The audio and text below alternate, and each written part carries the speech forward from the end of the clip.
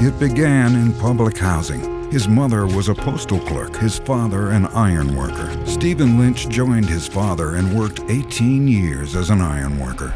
Went to college at night, then law school, the state senate, and United States Congress. Stephen Lynch has never forgotten where he came from voting against bad trade deals because as an iron worker, he saw the jobs going overseas. One of just two Massachusetts representatives to vote against the $700 billion Wall Street bailout because it did everything for Wall Street and nothing for the people they hurt.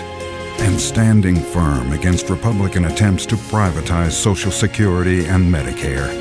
Now, our work begins.